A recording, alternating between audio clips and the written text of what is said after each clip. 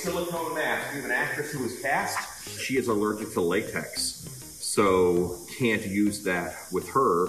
So I'm just gonna sculpt another one real quick, and I thought it'd be good to show how to make a silicone mask from scratch. I'm doing a half mask. Probably gonna do a, one of these. Not a sculpting video. I'll probably fast forward through most of this, but you do have to get a, uh, a layer down. Silicone mask, I'm keeping track of the thickness because the thickness is important to know because that's how much silicone it's going to take. When sculpting, I'm using my hands up until I need a detail smaller than this finger. As I need a detail thinner than that, you switch to tools. This is water-based clay. It is cheaper. It's with a latex mask, you have to worry about shrinkage. It's gonna shrink 10% on you. I don't have to worry about that with a silicone mask.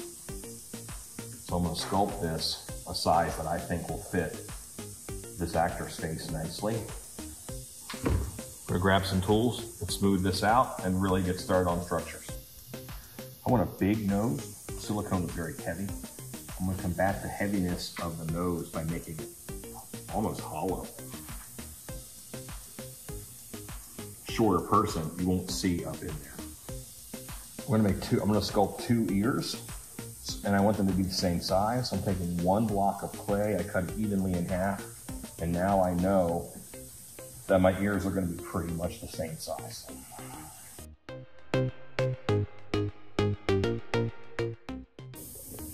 Knocking off the highs and using the highs to fill in the lows.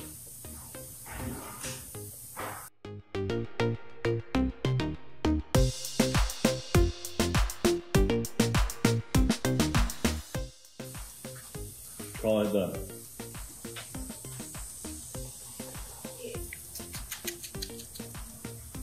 This will also do a little bit of smoothing out for me because right now I'm using basically what is sand erosion in order to smooth out these wrinkles. It's also drying out the sculpture a little bit because the baby powder is going to take moisture with it. I want to brush in the direction of my cavitation lines, the lines that wrinkles would form so that any brush stroke is just going to be a micro wrinkle. I'm brushing with the brow, with these four headlines, not against them.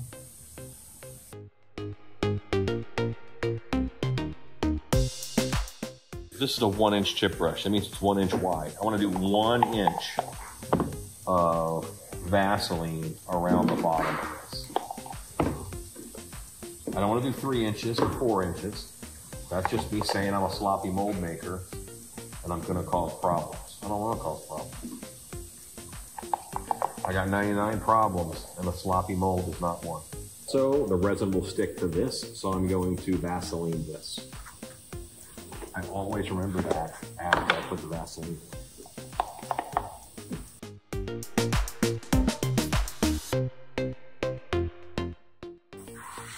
All right, I'm gonna do something that's a little weird. Uh, I'm gonna burn holes in the eyes so that when I make the mold, some resin goes down in there, and then that's gonna be registration points. I'm gonna go straight in. Just a hole like that. Straight in, just a hole like that. Okay. So inside the mold, there'll be two posts that stick up and those will stick into these holes. And then I know it's lined up and pushed all the way down. I have to Vaseline inside of those holes as they do not have any resistance.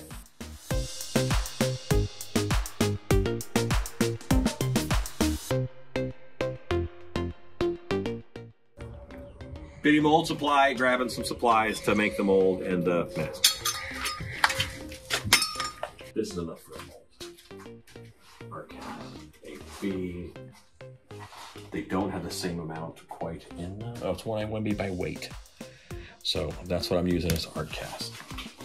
And this is the brushable. So this stuff becomes like a paste and like stays a paste for five minutes. But I can build up a thick mold with it. So that's good. Now, let's grab some silicone. This is what I'm making the mold out of. This is what I'm making the mask out of. This will go into the silicone to color it a little bit. And this is also silicone pigment.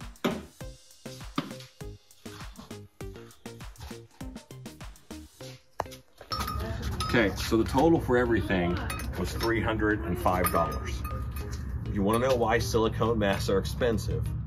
Now, I can probably make three or four of that silicone mask with what I've got here. Still, you're talking my cost, about a hundred bucks a pop.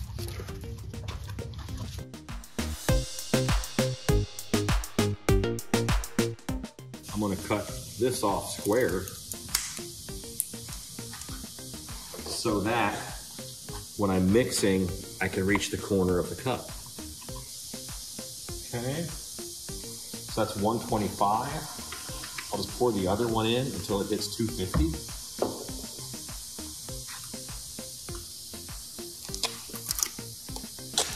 Because it's 1A to 1B by weight.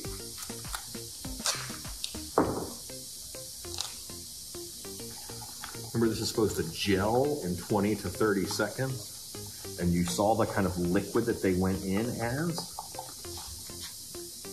I normally put my thinner material in first, the thinner viscosity, in order, because uh, it's gonna mix easier and not stick to the sides as much. And now it's thicker.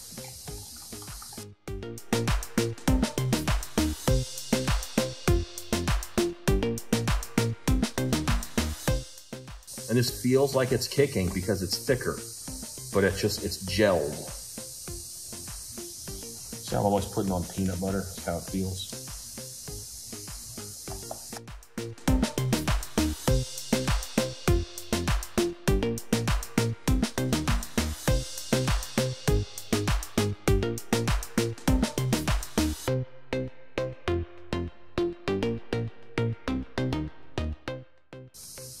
Gonna gel. Changes color. It turns gray while I'm mixing. And then it's gonna gel and it's gonna go back to that peach color. Sides, bottom. Always scrape the bottom.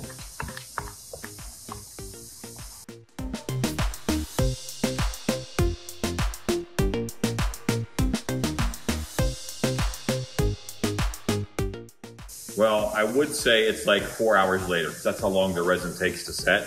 But we actually did the other part on Friday. It's now Monday. This has had plenty of time to set. It is really solid. Uh, this is one of the brushes that we use. Uh, this is part of one of the brushes that we use. Uh, resin is sticky.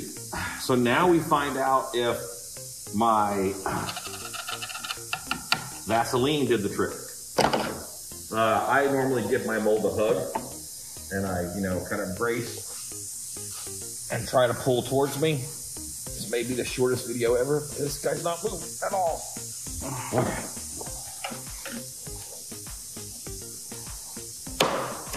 There we go.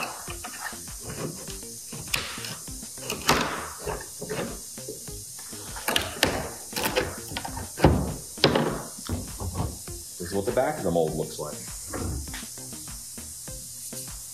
Just trimming off any of the resin that would be sharp.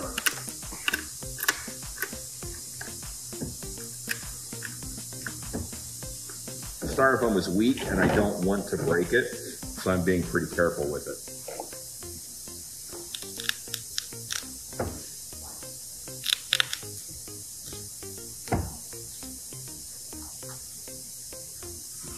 Have to be gentle because that has a styrofoam head.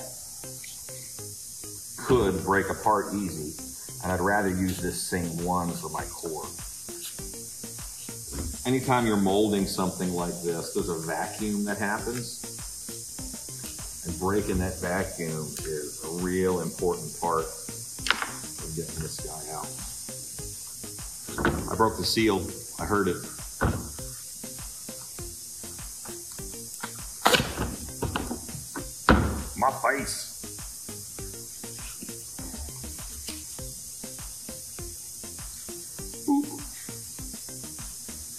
Here is my core. Now I have a little piece that broke off the chin, a little piece that broke off the eye over here.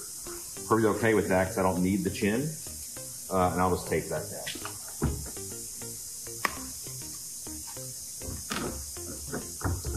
Now we get the clay out.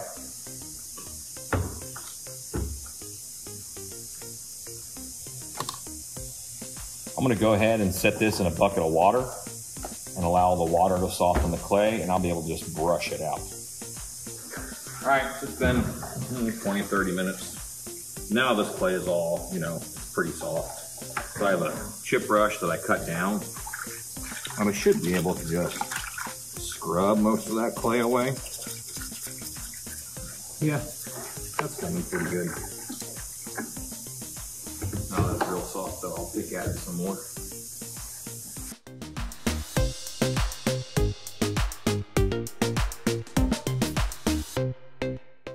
Okay, so uh, I have my mold here. It is cleaned out. Uh, and I'm going to put some release in it. I'm going to use uh, petroleum jelly. Do you need release with silicone? Technically, no.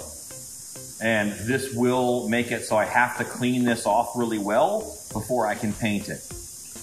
But uh, I want the, option to get more than one pull out of this mold.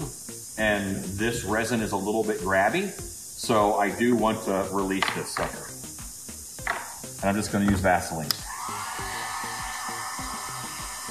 So know that the Vaseline is actor safe. Uh, my go-to is like Johnson's Paste Wax or something like that. But this is going to be on actor. So any residue all to be safe. And that's why I'm heating the Vaseline to thin it. I'm not uh, thinning it with xylene. I don't want any trace xylene in this.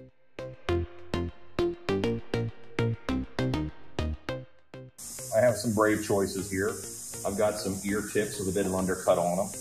Uh, I have my nose and the nose of this guy. Uh, remember it does that hook thing and it's hollow. So I've got to get that nose out.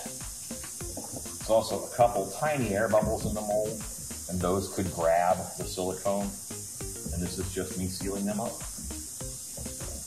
You do not have to do this.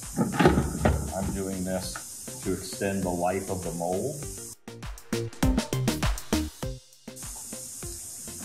I am greased. Now, so this piece here is important. I'm keeping this. This is a core, all right? This is gonna go into the mold when the, uh, when the silicone is in there. Uh, this is gonna be the void. Latex cures because the plaster sucks it up. It sucks the moisture out of it, leaving a skin on the edge of the mold. So I can fill this with latex, and if it were a plaster mold, then that filled with latex bit would, would be a mask. It would be hollow. But this cures chemically, not because of any kind of a drying. So uh, we have to have a core. This also is going to be against the silicone. This needs to be released. I'm going to embed some straps in this. The way that I'm going to embed straps in it is with this Velcro one wrap. I'm to mix a small batch of silicone and I'm just going to kind of glue these in to the, to the sides. These four points, strap will come out of here, strap will come out of here, strap out of here, strap out of there. That's where my straps go. Part B of my silicone. Okay, this is a 50-50 mix. So I'm doing half at 1A to 1B by weight. Weight is 85, so my total needs to be 170, but I have some stuff to add. I want to add some flesh color into this. This is silicone pigment, flesh.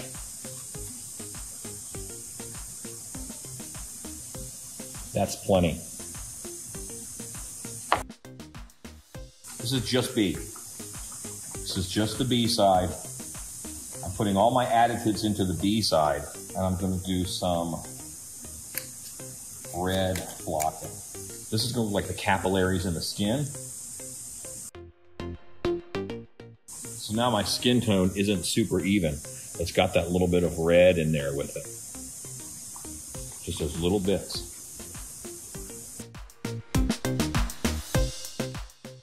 Mix this really good.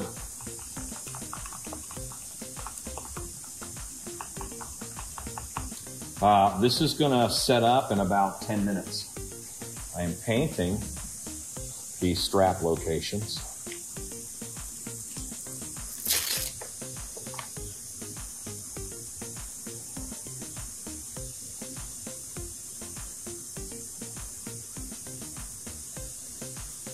Yeah.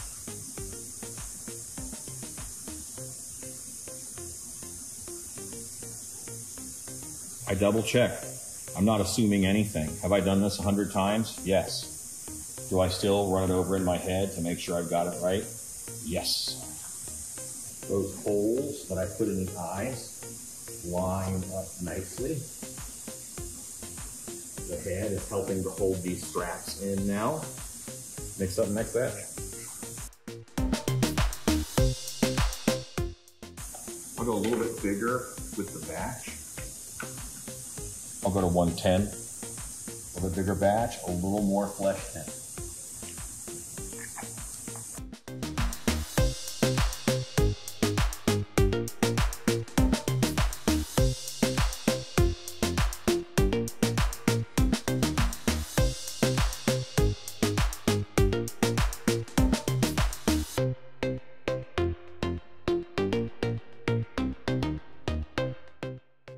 I had some left in this cup.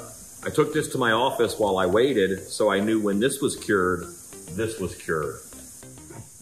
Now, I did not Vaseline the back of this. I don't think that's a big deal. These real thin sections, they, they can rip easy. It does have good stretch, but if it's real thin, it can rip on you. So even sculpting, I didn't do anything less than an eighth of an inch.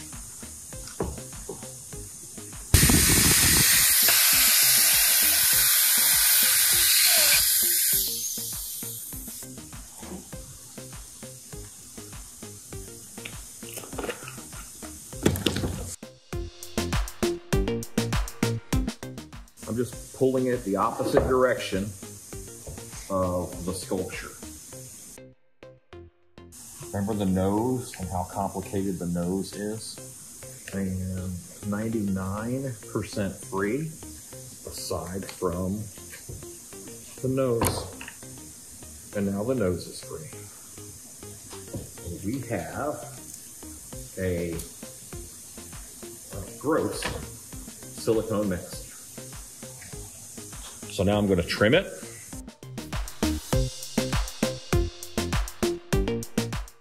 Okay. Be Vaseline gross. I'm going to put it on.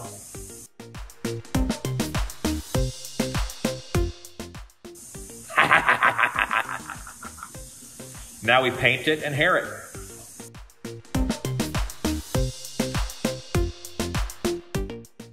All right, it is time to paint this guy. Uh, the only thing that really sticks well to silicone is silicone.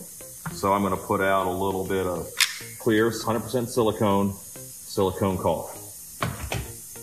And I'm gonna tint it with a little bit of oil paint. This is just oil paint from the hobby store. You don't need a lot. And the thin silicone, you use naphtha now, I didn't want to use naphtha on the mask itself. That's going to be against their skin. Painting the outside, uh, we'll use a little bit of naphtha and that will evaporate off. We're just going to mix this up until I get like a nice paint. I'm using the lid of a contact cement can because naphtha kind of melts through plastic. Hence me not wanting to put it on people's skin. Test in an area that you won't see too much of. Just giving it some color. Kind of catching in all that detail. Just that red adds a little bit of life. Makes it look like there's maybe some blood under that skin. The red cap probably some blood on the skin. Super simple. Add a little color up here, a little purple, a little more silicone. Mix first, then I'll add my naphtha.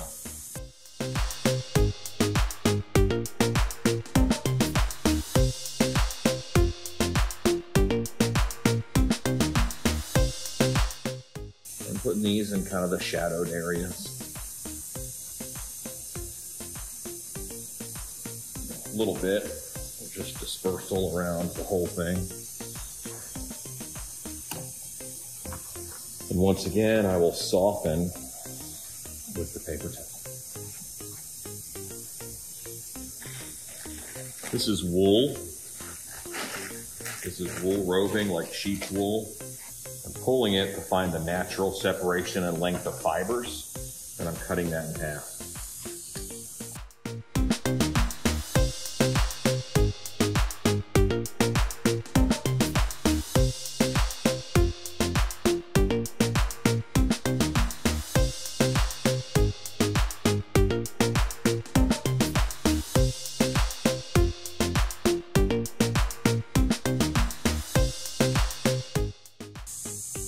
With small hunks at a time. Red cap.